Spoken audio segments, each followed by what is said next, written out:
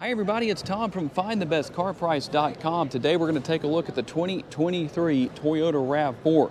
It has a cargo capacity of 37.5 up to 69.8 cubic feet. And while you can measure a cubic foot in theory by the fact that it's the same size a, as a basketball, or maybe just a basketball is the size of a cubic foot, whichever one.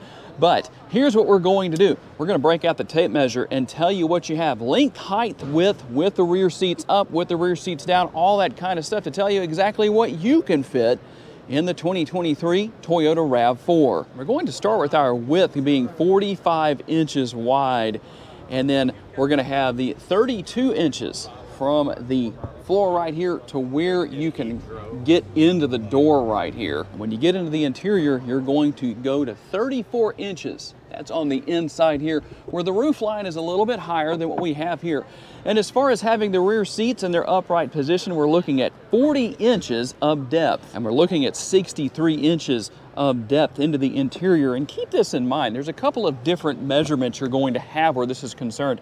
I measured to the top of the rear seat folded flat to give you that first number.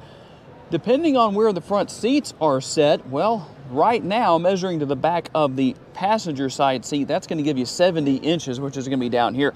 But obviously, there are going to be some variations depending on how things are set with the driver and the passenger seats.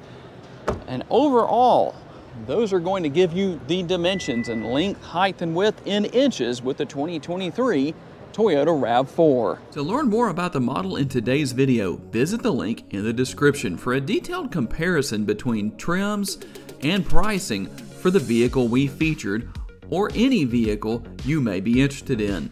These pages feature information such as our recommended trim level based on price, value, and features. Thank you for taking the time to watch today's video. We look forward to seeing you next time.